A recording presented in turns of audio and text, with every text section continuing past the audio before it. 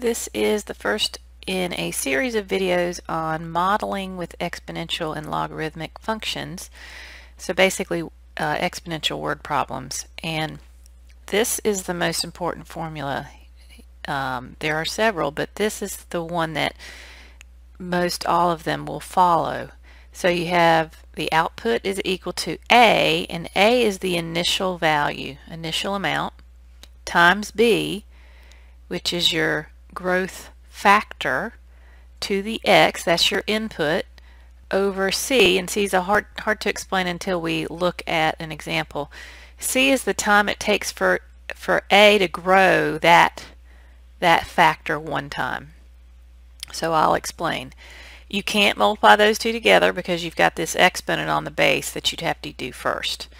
Okay, so a lot of the formulas that you might see in the lab manual even um, might look like different formulas, but they're really the same thing. So the doubling time formula is y equals a times 2 to the x over c. That's just because we're telling you that it doubles, so the growth factor would be 2.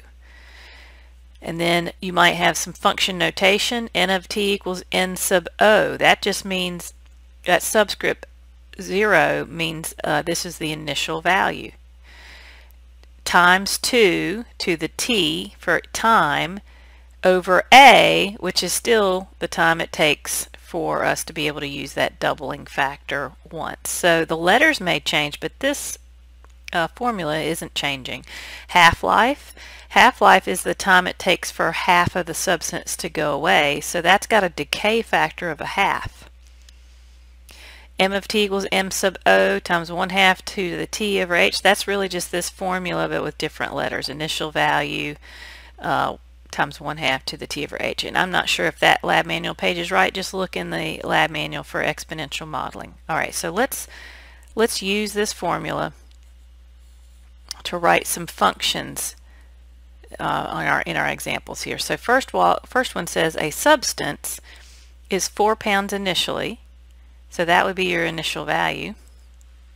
And it doubles. That means you're going to multiply by 2, but not until 3 hours have passed. So your growth factor is b equals 2, and your c is 3.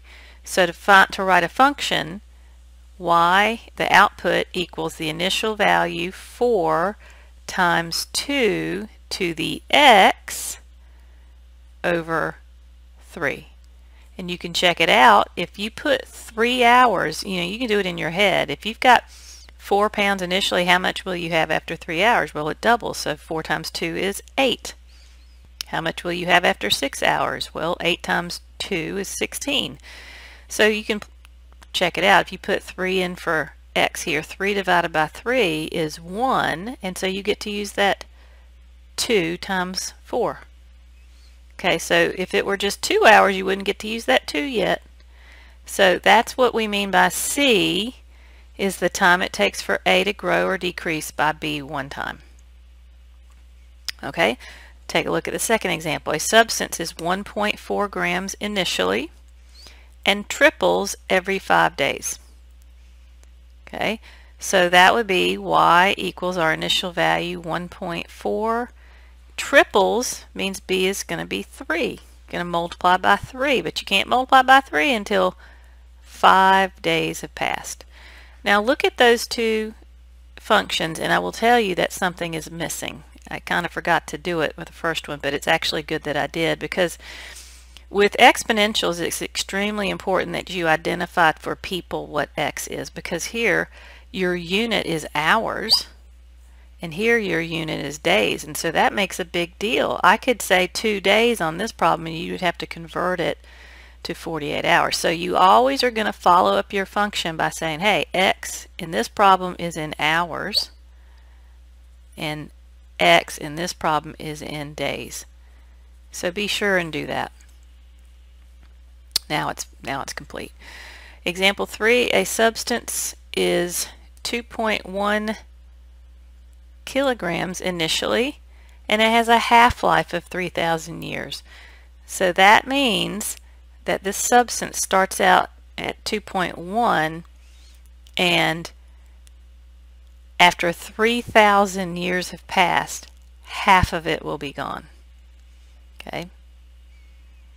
So that means that this is a decay problem. So your output is going to equal your initial value and you're going to be multiplying by one half but you cannot multiply by, by one half until 3,000 years have passed. So we have to divide out the 3,000 and then don't forget to tell people hey, x is in years.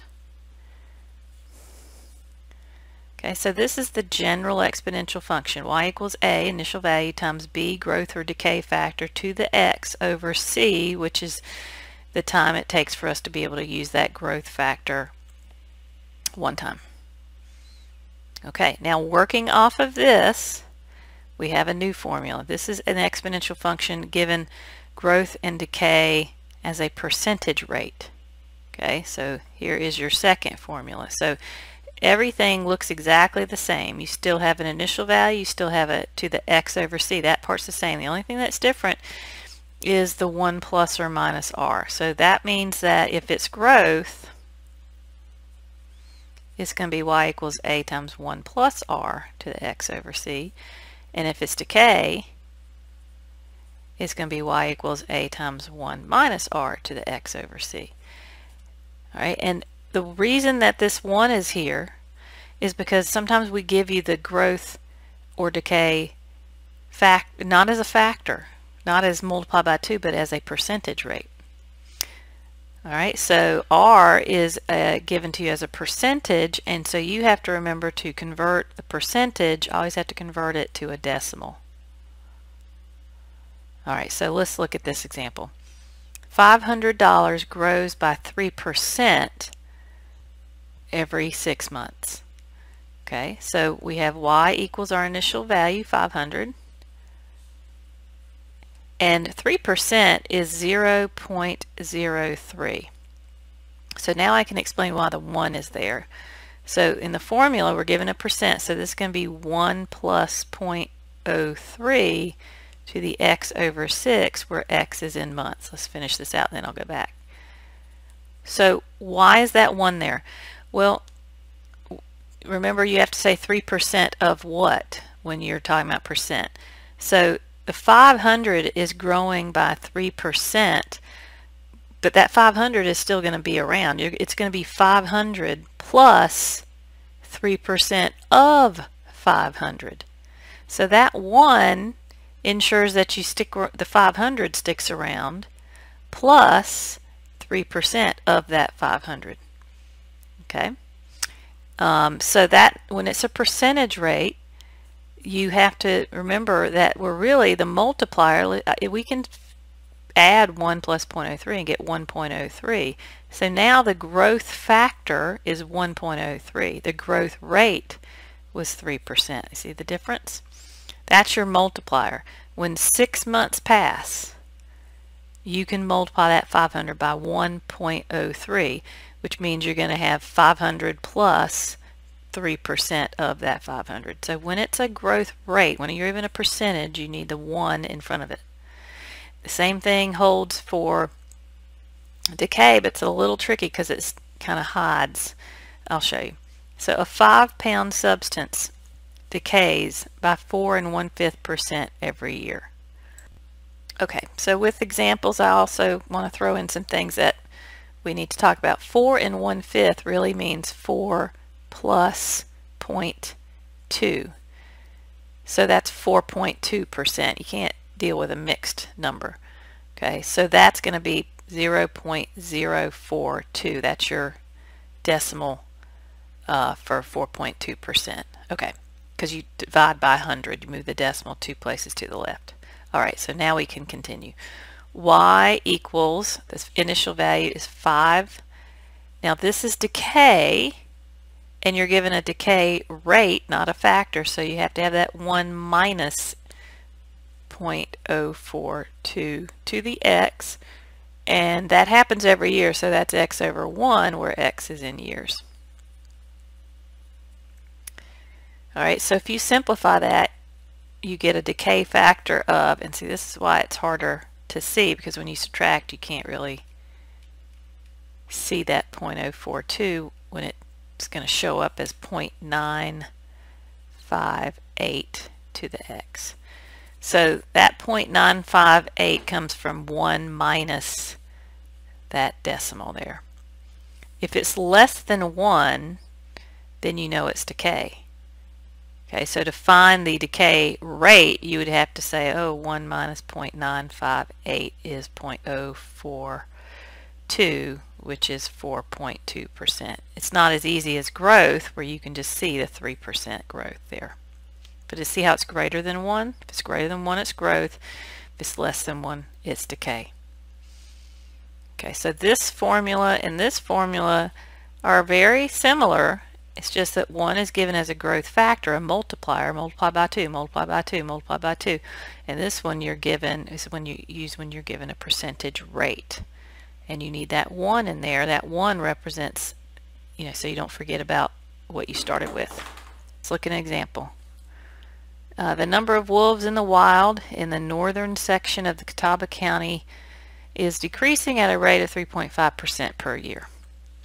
Your international studies class has counted 80 wolves in the area. Write an exponential function for this situation. That's always what you want to do first. And then use that function to answer this question. After how many years will this population of wolves drop below 15 wolves? If this rate of decrease continues. Okay, so we know it's exponential.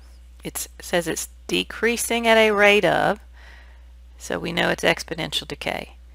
All right, so y equals a times 1 minus r to the x over c is the formula we would use because we're given a percent and it's decay. Okay, so um, if you want to use function notation, it says use a function notation, so I'm going to change my y to something like uh, w of x. That's my output when I know, or I can change it to t. Let's just do that for time. So when I know the time, I'll know the number of wolves. A is the initial number of wolves, and that said that was 80. Right there, 80 wolves okay, times 1 minus, they're decaying at 3.5%, so we have to change that to a decimal. That's 0.035. To the t, and that they're decaying that fat by per year, so over 1, where t is in years. So we can simplify that. W of t is equal to 80 times 1 minus 0.035 0.965 to the t, where t is in years. So we have written our function. We used function notation. Don't be afraid to change the variables around. Uh, all right, now we can answer this question. After how many years will this population of wolves drop below 15 wolves? Well, remember, t is years. That's our input and W is number of wolves. That's our output. So we I've given you an output input question. You would have to put 15 in here and solve for t. Okay, so in a previous video I showed you how to solve exponential equations. So now we get to practice that. So what we want to do, remember you have to divide out this number here. I call it the initial value. Uh, now you know why in a word problem it's always the initial value. You have to divide that out first. Alright, so 15 over 80 reduces to something 3 sixteenths. I'll leave it 3 sixteenths. So we have 3 sixteenths is equal to 0.965t. Now the way I teach it might be different in the lab manual. I teach you to get that t out of that exponent spot by taking the natural log of both sides.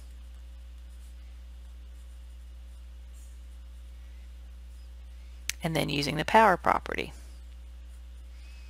And what that does, that makes the t move out front and now it's t times. So we know how to solve for t when it's being multiplied by something you have to divide. So I'm going to divide natural log of 3 sixteenths by the natural log of 0.965.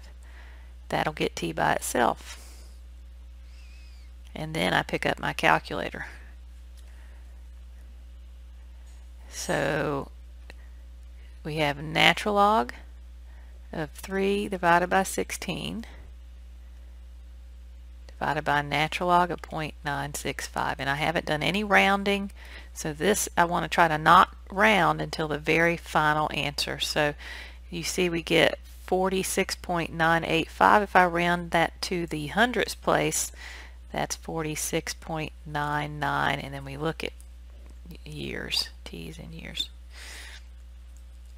okay so if I say round to the hundredths place you have to be good at doing that don't round up to 47 all right, let's look at another one.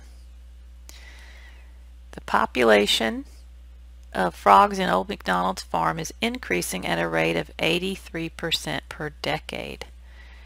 He counted 80 frogs yesterday. Write an exponential function and find how many frogs will be in his pond five years. So first thing we have to do is find the function, then we'll use it to answer the question. Okay, so this one, let's say it's f of t so your input is T and it's time in. Now this is interesting because it says 83% per decade. So you have choices. I'll do it both ways so you can see why it's important to tell people what T is. So let's let T be decades first. So every 10 years, every decade. All right. So your function, your in, uh, initial value is 80 frogs. And this time it's increasing, so this is a growth problem at a rate of 83% per decade. So that's 1 plus 0.83 to the x over, well, you let t, oh, I'm sorry, let's let that be t. You let t be in decades. So when do you get to use that? After one decade. All right, so this function would be 80 times 1.83 to the t, where t is in decades. Well, the question's asking you about five years, so you could have done this problem where you said, wait a minute, let's let t be in years. I'm more comfortable with that. Okay, so then your initial value would be 80. Your 1, that makes sure you pick up all 100% of that 80 plus 0.83 to the t, but you can't use that multiplier, that growth factor, until 10 years have passed. So what is the only thing different about these two?